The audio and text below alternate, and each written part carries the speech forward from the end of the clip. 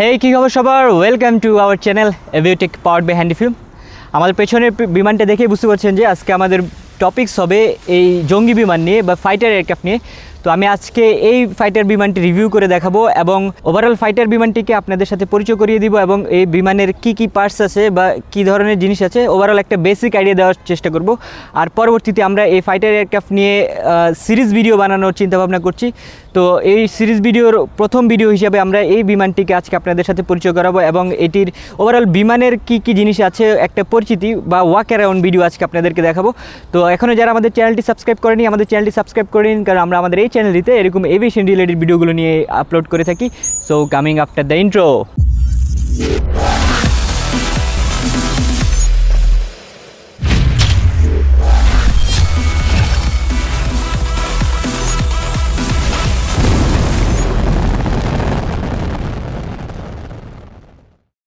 তো এটি হচ্ছে শ্যানিয়াং এয়ারক্রাফট কর্পোরেশনের দ্বারা বানানো একটি প্লেন এটির নাম হচ্ছে জে এইট জে এইটের দুটি ভার্সন ছিল। জে এইট টু ভার্সন এটি।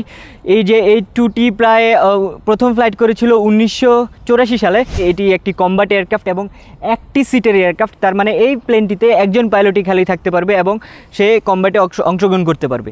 আর স্পিডের ব্যাপারে যদি আমি এই বিমানটির কথা বলে থাকি, এটা প্রায় two point four Mach speed তার মানে প্রায় অলমোস্ট তেইশশো কিলোমিটার পার আওয়ার বেগে এই প্লেনটি ফ্লাই করতে পারে। ইন টোটাল এই বিমানটি প্রায় দু হাজার দশ সাল পর্যন্ত তিনশো ষাটটিরও বেশি বিমান বানানো হয়েছিল। তো এই ফাইটার বিমানটি বা যে এইট ভার্সন টু বিমানটির প্রথম দিকে যে আমাদের লক্ষ্য করি, এখানে প্রথমেই একটি সরু নলের মতো দেখা যাচ্ছে। এটিকে পিটো টিউব বলে। পিটো টিউব নর্মালি এয়ারক্রাফটের স্পিড নির্ণয় করার জন্য এই পিটো টিউব ইউজ করা হয়।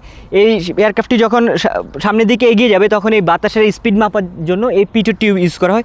পিটো টিউব নেমে আমি পরবর্তীতে আরও ভালো করে কোনো ভিডিওতে টিউটোরিয়ালে আলোচনা করব। তো এরপরে হচ্ছে এয়ারক্রাফটের কোন বলা হয় এটাকে নোজ কোন বলা হয়? এখানে মেনলি এয়ারক্রাফটের রাডার টাইপের জিনিসগুলো থাকে, বিভিন্ন ধরনের দিক নির্দেশনা বা ইলেকট্রিক সিগন্যাল কালেক্ট করার বা ইলেকট্রিক সিগন্যাল দেওয়ার যে রাডারগুলো থাকে বা ওয়েদার রাডার থাকে, এই জিনিসগুলো এই নোজ সেকশনে রাখা হয়। এবং এরপরে দেখতে পাচ্ছেন যে এখানে ককপিট ককপিট বলতে যেখানে পাইলট বসবে সেটাকে ককপিট বলা হয়। এই বিমানটির একটি সিট আছে, তার মানে একটি পাইলটই একজন পাইলটই এই বিমানটি ফ্লাই করতে পারবে। আমরা অন্যান্য এয়ারক্রাফটে দেখতে পারি যে, বা ফাইটার এয়ারক্রাফটগুলোতে দেখি যে, দুই ধর, দুইটা পাইলট থাকে, অ- আবার সামনে, পেছনে দুই ধরনের পাইলট থাকে।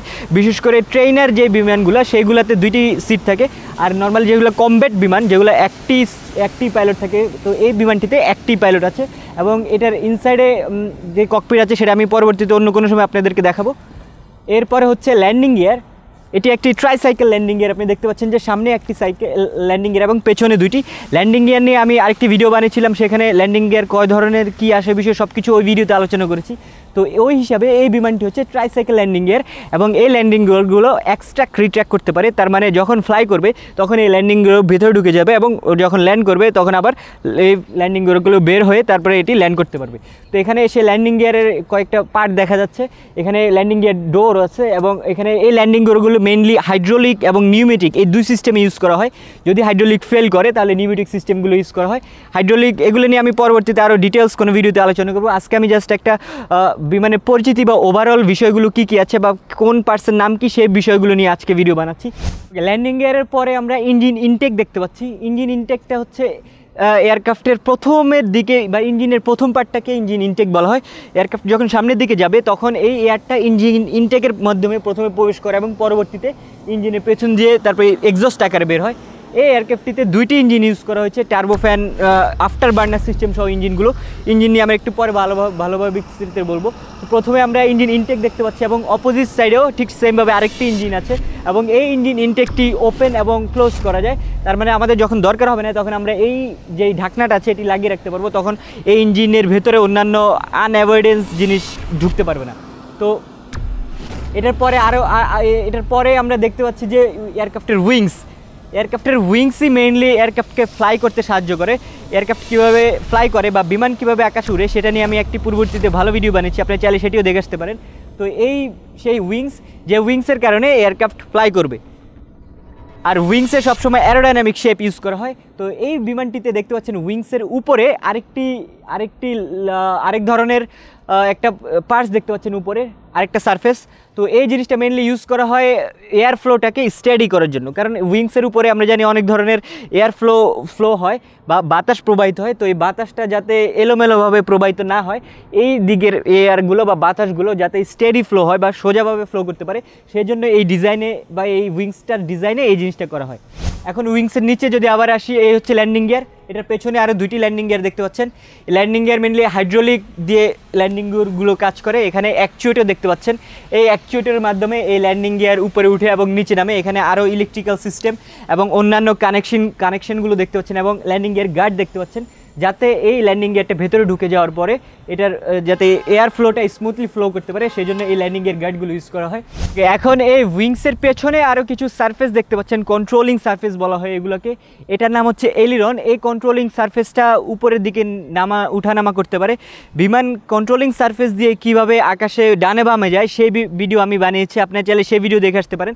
তো এই হচ্ছে সেই এলিরন এই এলিরন অপোজিটভাবে সেম আরেকটি আছে অপোজিট উইংসে তো এই এলিরন এগুলোর ডিরেকশন অপোজিট থাকে। সুতরাং আমরা যদি এয়ারক্রাফটকে রোল করাতে চাই, তাহলে হচ্ছে এই এলিরনগুলো আমরা ইউজ করি। এখানে আরেকটা সারফেস দেখতে পাচ্ছেন, এটাকে বলা হয় ফ্ল্যাপ এই ফ্ল্যাপটা ইউজ করা হয় মেনলি বেশি লিফট পাওয়ার জন্য। আমরা যখন এই ফ্ল্যাপটাকে নিচে নামাবো, তখন এয়ারক্রাফটটা বেশি লিফট পাবে। আবার এই ফ্ল্যাপটিকে ব্রেক সিস্টেমেও ক্যাচ করা যায়। ব্রেক সিস্টেমেও এই ফ্ল্যাপটাকে ইউজ করা যায়। ব্রেক কীভাবে কাজ করে সেটি নিয়েও আমি ভিডিও বানিয়েছি। আপনাদেরকে সেই ভিডিও লিঙ্কটাও দিয়ে দিচ্ছি। আপনি চাইলে দেখে আসতে পারেন যে কীভাবে বিমান ব্রেক করা হয়। তো এই হচ্ছে সেই ফ্ল্যাপ এই ফ্ল্যাপটিও বিভিন্ন ডিগ্রি অ্যাঙ্গেলে ডাউন করা যায় এবং দেখা যাচ্ছে যে ten degree fifteen degree twenty degree এভাবে এই ফ্ল্যাপটাকে ডাউন করা যায়। তো এই ফ্ল্যাপটাকে ডাউন করে প্লেনকে বেশি লিফট পেতে সাহায্য করে অথবা প্লেন বেশি লিফট পায়। এরপরে আমরা এখানে যে, এখানের পেছনের অংশ যদি আসি, এটাকে এলিভেটর বলা হয়।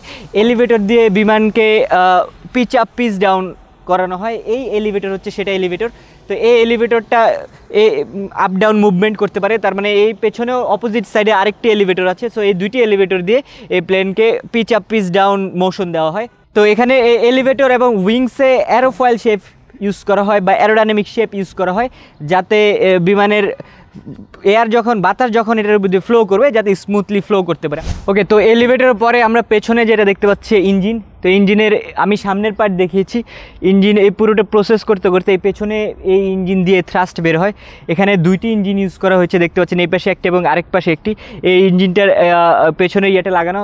আমি ইঞ্জিন সম্পর্কে বা ইঞ্জিন কীভাবে কাজ করে সেটা নিয়ে একটি ভিডিও বানিয়েছিলাম যে বিমানের ইঞ্জিন বা টার্বোজেট বা এই জেট ইঞ্জিন কীভাবে কাজ করে। সেখানে আমি ইঞ্জিনে সব কিছু বলেছি। যারা আপনারা সেই ভিডিও দেখেছেন, তারা অবশ্যই বুঝতে পারবেন যে এটা আসলে কীভাবে কাজ করে। তো এখানে দুটি ইঞ্জিন ইউজ করা হয়েছে। এখানে গুইজো এই ইঞ্জিনগুলোর নাম হচ্ছে গুইজো ডাব্লিউপি থার্টিন বি যেটি চায়নাতে তৈরি হয়েছে। তো এই ইঞ্জিনগুলো ইউজ করে এই বিমানটি ফ্লাই করে থাকে। তো পেছন দিকে আমরা বিমানের এমফেনেন্স দেখতে পাচ্ছি। পেছন পার্টটাকে বলা হয় এমফেনেন্স তো এই এমফেনেন্সের ভিতরে আমরা পেছনের স্ট্যাবিলাইজার দেখতে পাচ্ছি এবং পেছনের যে রাডার আছে সেটি দেখতে পাচ্ছি। এই রাডার দিয়ে হচ্ছে বিমান ইয় মোশন করে বা ডানে বামে যায় এবং রাডারের মাথায় স্ট্যাটিক ডিসচার্জার দেখতে পাচ্ছি এবং রাডারের ঠিক নিচে যে প্যারাসুট ডিপ্লয়ের ফাংশনটা দেখতে পাচ্ছি, এটি হচ্ছে সেই প্যারাসুট ডিপ্লয়ের ফাংশনটি আপনি অনেকেই দেখেন যে, দেখে থাকেন যে ফাইটার বিমান যখন ল্যান্ড করে, তখন এটির ব্রেক করার জন্য পেছনে প্যারাসুট বের করে দেয়। তো এই হচ্ছে সেই প্যারাসুটের যে হাবটা এখান থেকে সেই প্যারাসুটে ডিপ্লয় হয় এবং বিমানটাকে ব্রেক করতে সাহায্য করে।